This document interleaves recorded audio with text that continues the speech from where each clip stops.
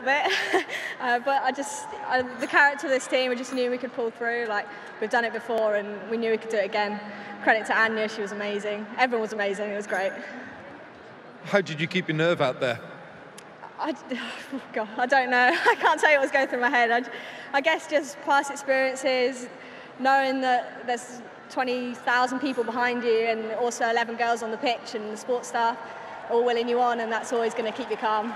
And a word about this crowd that got behind you today at Lords? Yeah, I've never had anything like it. Thank you very much. Um, it was amazing. It was just an incredible experience, and thank you everyone for coming today. You've had a great month, haven't you?